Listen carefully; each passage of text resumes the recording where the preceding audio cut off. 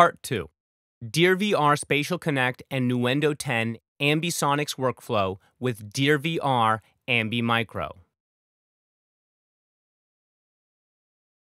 Welcome back to the second part of our little tutorial series using Spatial Connect and Nuendo 10. In the first video, we set up a binaural workflow. In this part, we want to explain an ambisonics workflow. For that, we use the DearVR Ambi Micro plugin to edit and monitor an ambisonic format binaural on our headphones. DearVR Ambi Micro is a free AAX, VST, and AU plugin available at www.dearvr.com. It's an all in one solution for ambisonics workflows up to third order.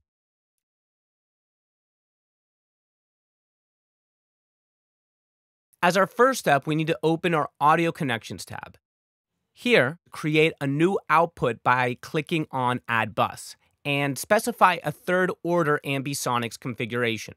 I'll just specify the name as TOA, meaning third order ambisonics. Of course, you could also work with second or first order ambisonics buses. On this occasion, I'd like to point out that the first four channels of a third order ambisonics bus are actually equal to a first order ambisonics version of that bus. Similarly, the first nine channels of a third order ambisonics bus are also equal to a second order ambisonics version of that bus. Therefore, if you're not sure yet which order you'd like to support, you're usually safe with declaring a third order ambisonics bus at this step and then decide later in the rendering process how many channels you really want to use. We have created a new output bus inside Nuendo, which we'll set as our main mix with just a right click. This is indicated by a red speaker symbol. All our audio signals will be routed to our control room, which is used to monitor the ambisonic stream binaural on our headphones. It's also important that you set up your headphones output to whatever interface you're using. Make sure it's connected here. All right.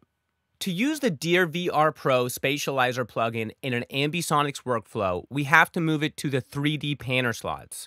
Go to the Mixer console view to insert DearVR Pro into the slots. First, go to the routing section and set up the output of these tracks to our third order ambisonics bus we just created. You can see that these three dependent slots have changed their configuration. Right clicking on those slots enable us to select DearVR Pro from the drop down menu. We shouldn't forget to set the output to third order ambisonics. In our demo, I'm going to use the AmbiX format, repeating it for all the three tracks now.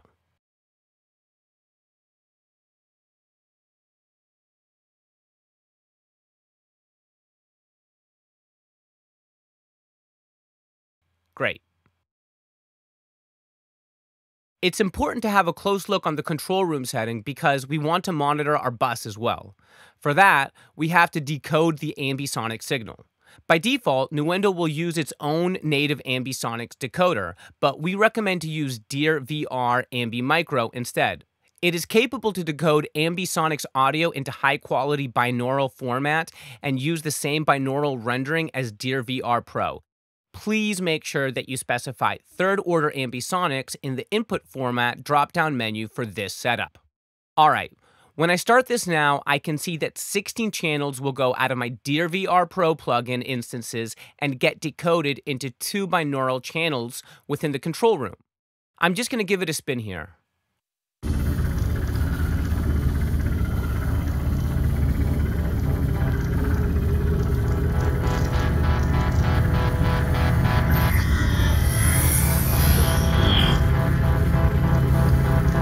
Awesome. That's it.